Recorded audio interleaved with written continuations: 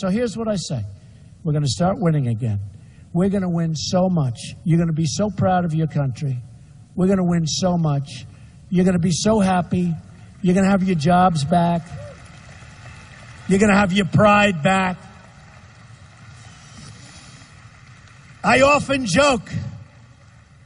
You'll be calling up Mike Pence. I don't know whether he's going to be your governor or your vice president. Who the hell knows?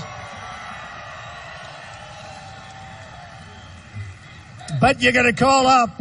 Good man.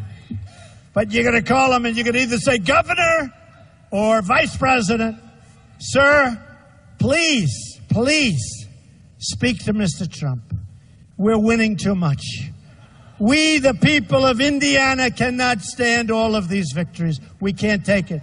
We're not used to it. Please, we're winning with our military. We're going to beat ISIS. We're winning on trade. We're winning at the border. We're stopping drugs from pouring in. We're winning on education. We're winning with our Second Amendment. Please, please, Mike, help us. We're winning too much. And Mike will come to see me. Say, Mr. President, sir, they're winning too much. The people of Indiana can't stand it. I say, Mike, go back and tell them we're not changing a damn thing. We're going to keep winning. And we're going to win at every level.